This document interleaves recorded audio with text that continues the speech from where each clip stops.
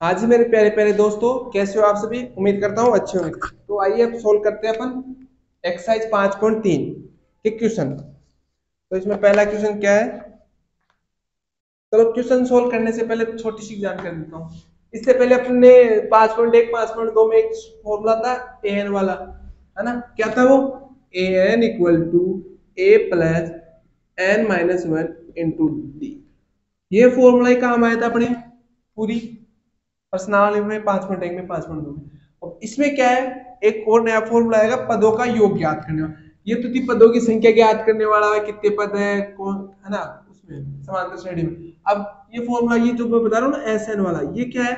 पदों का योग ज्ञात करने का फॉर्मूला है। तो ये क्या है? S N equal to N बटे दो, है ना?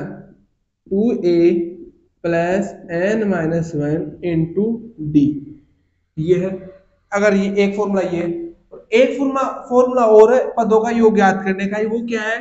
S N equal to N बटे दो ए प्लस एन अब ये समझो। ये तो पता ही है एन यानी पदों की संख्या ए होता है, प्रथम पद होता ही है। और डी सार्वंतर होता ही है। तो इनमें काम आया, वो इसमें। लेकिन इसमें क्या है?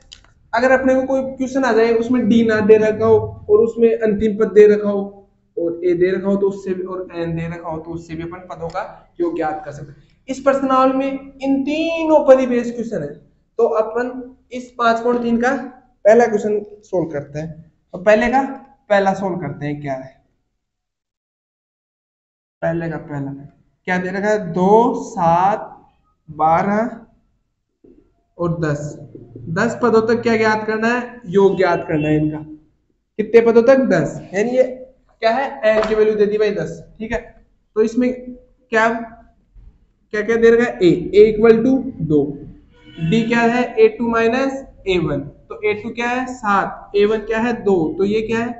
पाँच। और क्या है इसमें? एन एन क्या है? दस पदों तक। और पदों तक योग ज्ञात करना है। योग का फॉर्मूला क्या होता है? S N equal to N बटे दो two A plus N minus one into D हो गया फॉर्मूला ये अब चलो सोल्व करते हैं। तो अपने को क्या ज्ञात करना है? एस टेन ठीक है?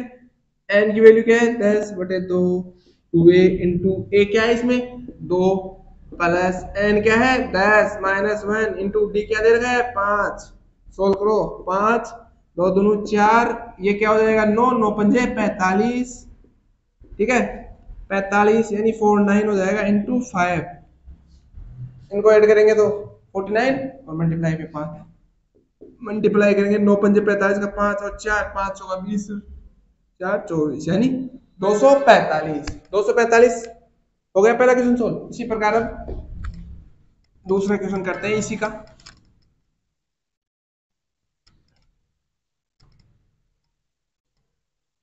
अब इसका दूसरा क्वेश्चन क्या बोल रहा है? दूसरा आप कर लेना दोस्तों इसका चौथा क्वेश्चन कर लेते हैं अपना, है ना? चौथा क्वेश्चन क्या है? एक बटे पंद्रह, एक बटे बीस, एक बटे बारह, एक बटे दस। और कितने पदों तक ग्यारह पदों तक योग याद करना है। क्या याद करना है? योग। ठीक है? ये भी आसान है। पूरा यही मेथड लगाओ। अभी उस क्वेश्चन में लगाया था ना, वही मेथड है सेम बस। क्या एक क्या दे रखा है इसमें? एक बटे पंद्रह क्या ज्ञात करना है? डी डी क्या होता है? A two minus A one A two क्या है? एक बटे बारह. और ए वन क्या है? एक बटे पंद्रह. ठीक है? अब इसको सोल्व करेंगे. कैसे करेंगे? इनका एलसीएम लेंगे. ऐसी सबसे छोटी संख्या ज्ञात करो, जिनमें इन दोनों का भाग जाता हो. कौन कौन सी हो सकती है? बारह एक बारह. बारह में पंद्रह जाता नहीं जाता. बारह दोनों चौबीस नहीं जाता. भारतीय छत्तीस. पंद्रह का नहीं जाता. छत्तीस. फिर भारतीय बच्चों अड़तालीस अड़तालीस. बारह पंजे साठ. यानी पंद्रह का भी जाता है, बारह का भी जाता है. क्या आएगा साठ. एलसीएम क्या जाएगा? साठ। अब बारह में साठ का भाग देंगे। तो कितनी बचा रहा है? बारह पंजे साठ, पाँच बार पाँच को एक से मल्टीप्लाई कर दो, पाँच। इसी प्रकार। पंद्रह का कितनी बचा रहा है? चार बार पंद्रह चौका साठ एक से मल्टीप्लाई कर दो। तो क्या जाएगा? चार। तो क्या जाएगा? एक बटा साठ। क्या अपने पास क्या है? डी डी क्या है? एक बटा साठ। अब ये साठ, अब अगर मान लो सॉरी अब ये तो थोड़ो अब आपको अब ज्ञात करना है, साठ। अब कैसे ज्ञात करें? वो क्या होता है? एलसीएम लेते हैं ना एलसीएम एलसीएम क्या होता है? बारह और पंद्रह का एलसीएम लेंगे तो सबसे छोटी संख्या क्या है? जिन दोनों में आ जाता है, क्या है? तीन। चार तीन बारह, पाँच तीन पंद्रह। अब थोड़ी एक किसी का भाग जाता है, दोनों में नहीं जाता ना। चार को कितनी बार जा रहा है? एक बार पाँच को इसे लिख लेंगे। फिर पाँच का एक। तो पाँचों का अब इनको क्या करेंगे? मल्टीप्लाई करेंगे। चार गुणा तीन गुणा पाँच। चार थी बारह बारह पंजे साठ। आ गया ना साठ? ऐसे आया साठ, है ना? चलो ए हो गया। अब अपने को क्या ज्ञात करना है? एन एन दे ही रखा है ग्यारह तो अपने को ज्ञात क्या करना है? एस एन इक्वल टू अब दो क्या योगी ज्ञात करना है? एन बटे दो two A plus N minus one into D ठीक है? तो एस इलेवन ज्ञात करना है, ठीक है? एन की वैल्यू ग्यारह बटे दो टू ए ए कितना है अपने पास? ग्यारह बटे पंद्रह प्लस एन कितना है? ग्यारह। ग्यारह माइनस एक गुणा डी, एक बटे साठ ठीक है? ग्यारह बटे दो दो बटे पंद्रह प्लस दस, ये दस हो जाएगा, ये ज़ीरो से ज़ीरो यानी एक बटा छ अब ऐसी संख्या याद करो जिसमें छह कट जाता हो पंद्रह के बाद। पंद्रह पंद्रह उनतीस, तीस का छह मिल जाता है तो इनका एल्सियम क्या जाएगा? तीस। है ना? तो ये क्या हो जाएगा? पंद्रह तुमने तीस यानी चार, और छह पंजे तीस प्लस। कितनी पर गया पाँच पर तो पाँच से मैं अप्लाई कर दो इसको। गुणा। ग्यारह बटे दो। क्या है? इलेवन ठीक है? अब यहाँ पर करते हैं इसको। तो ये क्या हो जाएगा ग्यारह बटे दो। चार पाँच। नौ।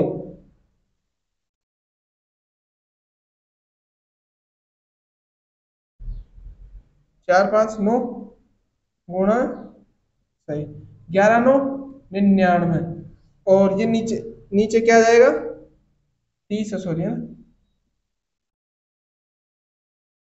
दो इंटू तीस यानी ये क्या है? साठ है। साठ हो जाएगा ना ये? अभी दोनों में किसका भाग दे रहे हैं? तीन का देते हैं इसमें। कितनी बच जाएगा? तैतीस। इसका बीस बार ठीक है? हो गया सौ। तो एस इलेवन की वैल्यू क्या आ गई अपने पास? तैतीस बटा बीस। ठीक है? अब इसी प्रकार हो गया ये क्वेश्चन इसी प्रकार इसके जो दो क्वेश्चन नहीं पता है ना, वो भी आप दोस्तों कर लेना अगर नहीं समझ में आया ना कमेंट कर देना, वो भी आपको बता दिया जाएगा.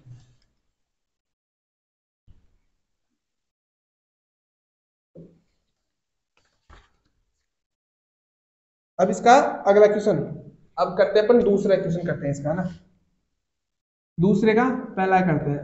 दूसरे का पहला क्या है? सात प्लस दस सही, एक बटा दो plus fourteen plus plus eighty four अब इसमें दूसरा क्वेश्चन क्या बोल रहा है?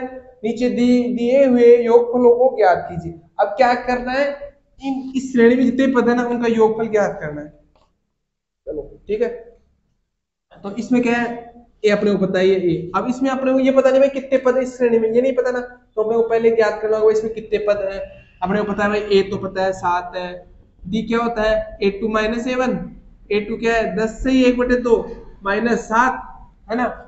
तो अब इसको सोल्व करेंगे तो ये क्या होता है? बीस एक, इक्कीस बटा दो माइनस सात, यानी इक्कीस माइनस चौदह बटा दो, यानी सात बटा दो।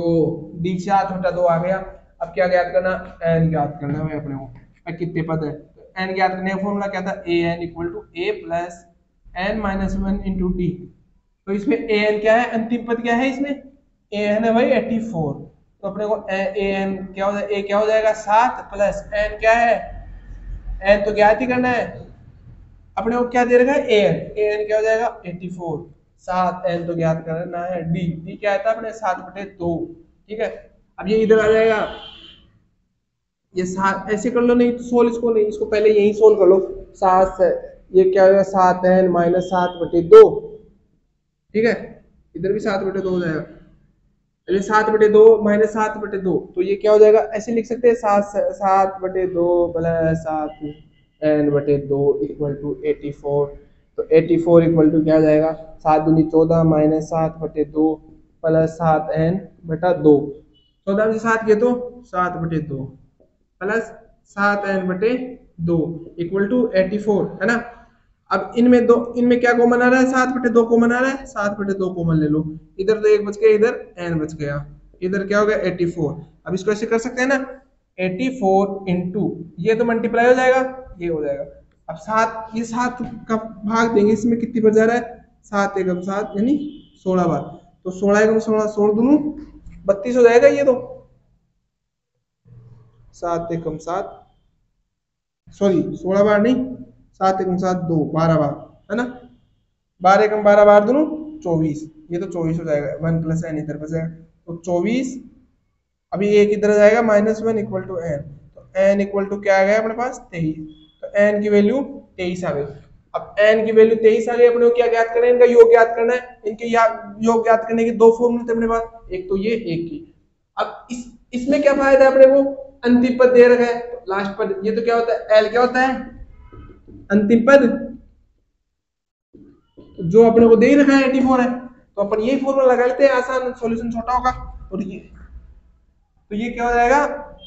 एस एन एन बटे दो ए प्लस एन तो एस एन क्या है इसमें? एस एन तो अपने को निकाल, ज्ञात करना है, कितना पद है टोटल तेईस पद, तेईस पदों तक का योग ज्ञात करना है एन क्या दे रखा है इसमें? एन तेईस है बटे दो ए ए सात और अंतिम पद क्या है? एटी फोर ठीक है? तो अब ये क्या हो जाएगा? Twenty three upon two into ninety one अब इसको मल्टीप्लाई करो पहले तो। नाइन्टी वन को ट्वेंटी थ्री से मल्टीप्लाई करेंगे तो कितनी बन जाएगा? ये तीन, नौ, तीस, सत्ताईस इंटू दो और नौ एक अठारह। तीन, नौ, दस की ज़ीरो से लगे यानी दो हज़ार तिरानवे। अब ये भाई, दो हज़ार तिरानवे आ गया भाई। दो हज़ार तिरानवे में दो का भाग। यानी इसमें दो का भाग देंगे। कितनी बजा रहा है? दो एकम दो। Zero zero. ये ज़ीरो आ गया, ये नौ आ गया।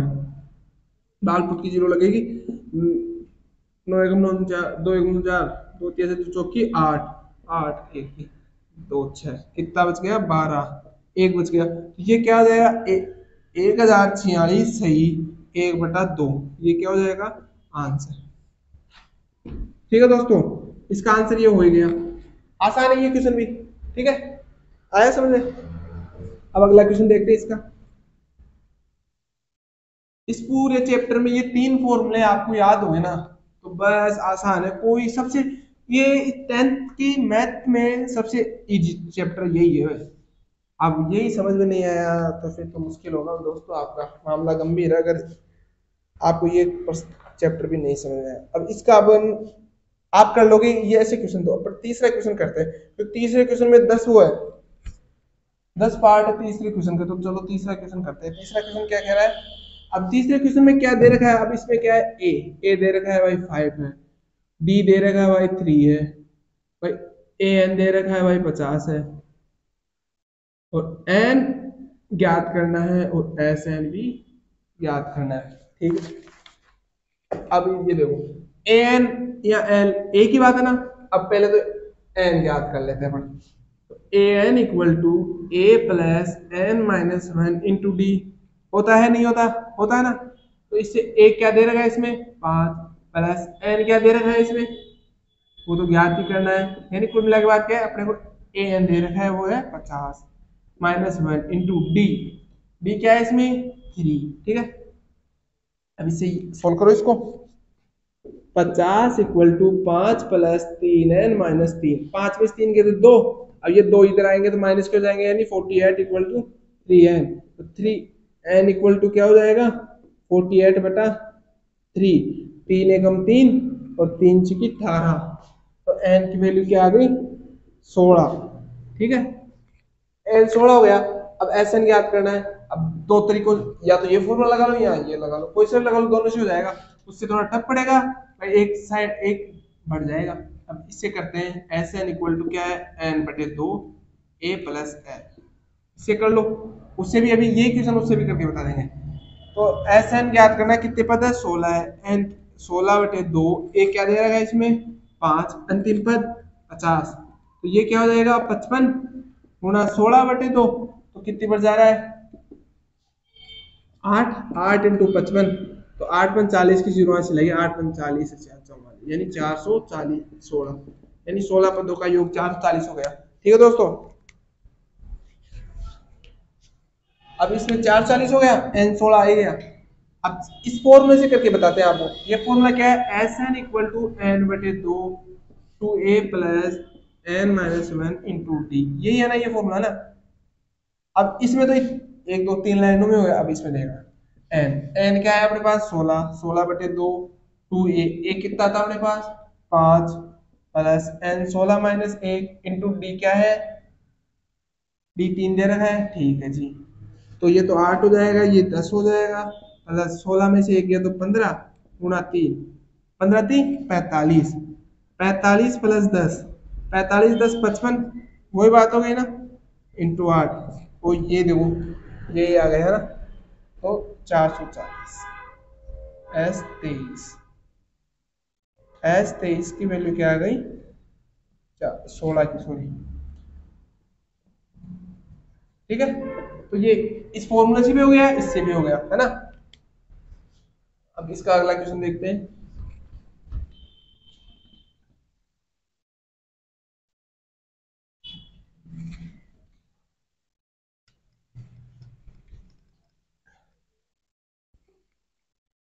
अब तीसरे का, अब इसी प्रकार का ये, चलो दूसरा बता दे, इसमें दो ही चीज़ दे रखी है ना?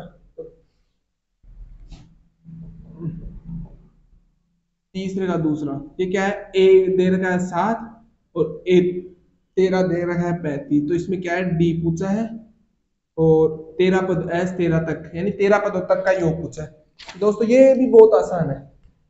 अब इसको अपन पहले डी निकाल दे। अब एस तेरह को अपन ऐसे लिख सकते हैं। एस तेरह को अपन जैसे वो फॉर्मूला है है ना? एक फॉर्मूला मिट गया यहाँ पर, क्या था वो? S N equal to N बटे दो ए प्लस एन है ना? अब इसको अपन ऐसे लिख सकते हैं ए प्लस बारह डी लिख सकते हैं, नहीं लिख सकते अब ये सब है ना? लिख सकते हैं ना? अब ये कहाँ से है अभी वहीं से बताता हूँ। एस तेरा equal to A plus N की वैल्यू क्या है इसमें? तेरह minus one D A plus बारह डी ए तेरह आ गया ना? अब इससे अपन क्या डी निकालेंगे। ए तेरह की वैल्यू क्या दे रखी है? पंद्रह। प्लस ए क्या है? सात। प्लस बारह इंटू डी सही? अब पैंतीस माइनस सात इक्वल टू बारह इंटू डी ये हो जाएगा ना? अब कितना हो जाएगा? बारह से वो सात गए तो? सत्ताईस। सत्ताईस में अट्ठाईस। अट्ठाईस इक्वल टू बारह डी तो डी की वैल्यू क्या आ जाएगी? अट्ठाईस बटा बारह तो कितनी बार हो जाएगा? तो ये हो जाएगा चार तीन बारह और सात सौ अट्ठाईस यानी सात बटे तीन। डी की वैल्यू क्या आ जाएगी अपने पास? सात बटे तीन। ठीक है? अब अपने को डी की वैल्यू आएगी। अपने को क्या याद करना है? एस तेरह। एस तेरह याद करना ये फॉर्मूला लगा दो। अंतिम पद अंतिम पद क्या है इसमें? तेरह ही। नहीं नहीं। अंतिम पद क्या है? पैंतीस। भाई, तेरह पद क्या है? पैंतीस। तो अंतिम पद भी पैंतीस हो जाएगा। तो ये तेरह बटे दो। एक क्या है इसमें? सात प्लस अंतिम पद पैंतीस। यही हो गया। अपने को क्या तेरह पदों तक याद करना है? तो तेरह पद अपने दे रखा है, पैंतीस है। लगा दो फॉर्मूला यही। एस तेरह इक्वल टू क्या हो जाएगा? तेरह बटे दो। पैंतीस और सात सात में सात चुकी बया, यानी बयालीस। ये तो ये इक्कीस हो जाएगा। अब इसको मल्टीप्लाई करो। इक्के का मिक्की के दिन में इक्कीस तिरसठ का तीन अस्सी लगी छह इक्कीस छह, सत्ताईस, यानी दो सौ तिहत्तर। एस तेरह पदों का दो सौ तिहत्तर हो गया। ठीक है दोस्तों? सो आया समझ में? आसान है। कोई दिक्कत नहीं। क्वेश्चन आसान आसान है। अब अगला क्वेश्चन करते हैं इसी का। अभी तीसरे क्वेश्चन में दस क्वेश्चन है तो पूरे दस बताने थोड़ी ज़रूरी है। तो इसमें से कोई और देख लेते हैं। अब ये कर लोगे आप मेरे हिसाब से सारे क्वेश्चन। अब ये देखो लास्ट वाला ही करते हैं अपन, क्योंकि ऊपर शुरू के दो कर ही लिए, अब लास्ट का कर लेते हैं। अब लास्ट का, तीसरे का, दसवा। जिसमें लास्ट पद, अंतिम पद दे रखा है अट्ठाईस, और एस क्या दे रखा है? एक सौ चौवालीस, और कुल नौ पद है। यानी ये तो योग दे रखा है, नौ पदों का, सही। कुल नौ पद है। कुल पद कितने हैं? नौ, यानी एन इक्वल टू नौ। एक याद करना है अपने को। भाई, आसान है। फॉर्मूला क्या है? एस एन का। S N equal to N बटे दो ए प्लस ये फॉर्मूला लगा दो। एन बटे दो S N equal to N बटे दो ए प्लस एल ठीक है। अपने को क्या याद करना है? अंतिम नौ पद है। और ये योग दे रखा है लास्ट पद क्या है? अट्ठाईस है। ठीक है? और ये तो क्या हो जाएगा? एक सौ चौवालीस इक्वल टू एन कितने? नौ पद है। ए याद करना है ही। अंतिम पद अट्ठाईस दे रखा है। तो एक सौ चौवालीस इक्वल टू नौ ए बटा दो प्लस हम्म, नौ इंटू चौदह हो जाएगा ना? क्योंकि ये क्या हो जाएगा? नौ बटे दो इंटू अठाईस तो ये तो फोर्टीन हो जाएगा। हो जाएगा ना? तो ये अब एक सौ चौवालीस माइनस नौ सौ छत्तीस का छह हासिल लगी तीन, नौ, तीन, बारह, यानी एक सौ छब्बीस। एक सौ छब्बीस इक्वल टू क्या जाएगा? नाइन ए बटा दो। इसको सोल्व करेंगे, एक सौ छब्बीस आएगा। फिर ये इधर चला जाएगा तो हो जाएगा, है ना? अब एक सौ छब्बीस। तो ये एक सौ चवालीस में से एक सौ छब्बीस के तो क्या हो जाएगा? ये हो जाएगा भाई, चौदह में से गए तो आठ, और दो में से तीन में से दो गए तो एक, और एक में से एक गए तो ज़ीरो। ठीक है? Into equal to nine A upon two ठीक है? अब ये अठारह गुणा दो upon nine equal to A हो जाएगा, नहीं होगा? हो जाएगा ना? ये है ना? अब ये नौ दुनी अठारह, यानी ए क्या आ जाएगा अपने पास? चार। ए की वैल्यू अपने पास चार आ गई। आसान है दोस्तों, घबराने वाली बात है नहीं। हो गया नहीं क्वेश्चन? अब इससे रिलेटेड और क्वेश्चन बता देते हैं आपको। इसी का अब ये